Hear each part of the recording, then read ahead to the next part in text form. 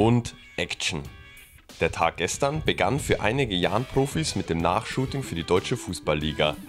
Neben André Weiß und Wastel Nachreiner posierte auch mit Sebastian Freis unser letzter Neuzugang vor der Kamera. Der Stürmer hat sich auf Anhieb gut eingelebt in Regensburg. Ich bin hier sehr gut aufgenommen worden, fühle mich schon richtig wohl in der Mannschaft, äh, habe natürlich am Anfang einiges nachzuarbeiten gehabt, ähm, was mir ziemlich schwer gefallen ist, aber ich äh, merke jetzt, dass ich nach und nach besser reinkomme. Am frühen Nachmittag ging es weiter mit Autogramme geben. Die groß angelegte Signierstunde der Jahn-Profis fand in der Continental Arena statt. Unzählige Karten, Bälle und Trikots wurden fleißig unterzeichnet. Fakt ist aber auch, Training gefällt unseren Jungs noch besser.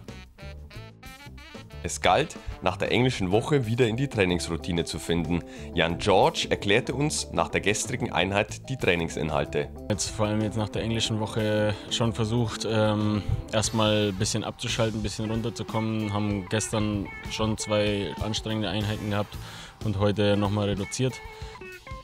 Der volle Fokus liegt auf dem Spiel am Sonntag in Sandhausen. Eine weitere schwierige Aufgabe wartet auf unsere Jan 11 müssen einfach, denke ich, äh, zweikampfstark sein und einfach die Chancen nutzen, die wir dann, die wir dann vorne bekommen. Und wir kriegen jeden, jedes Spiel eigentlich unsere Chancen die ähm, gilt es dann einfach zu verwerten.